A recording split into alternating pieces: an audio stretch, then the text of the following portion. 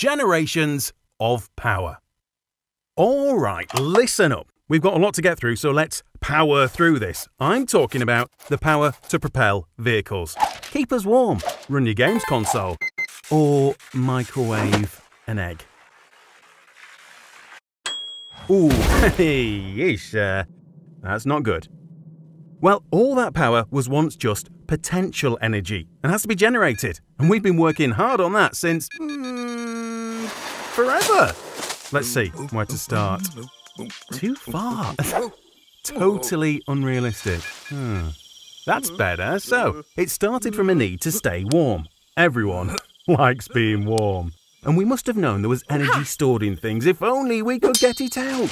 Voila, fire, energy from potential energy cooking, heating, keeping monsters away, all that stuff.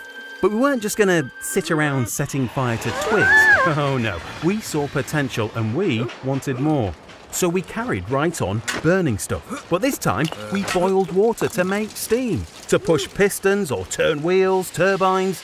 And this energy was soon converted into electricity, the invisible zappy stuff you can store in batteries which was kind of a massive deal because it provided light and warmth. We could send it through cables, pretty much anywhere we needed it, but we still needed to burn things like coal to turn turbines to make it.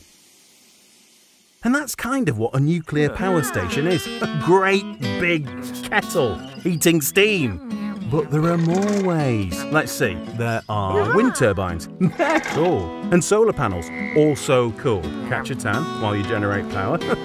Brilliant. Geothermal. That's where you sit on top of a volcano until you're toasty warm. Sort of.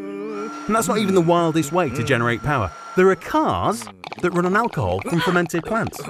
Whole power stations that run on animal poo.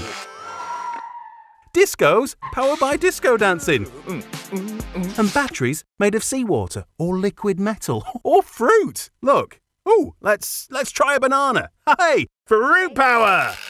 Oh, dodgy banana?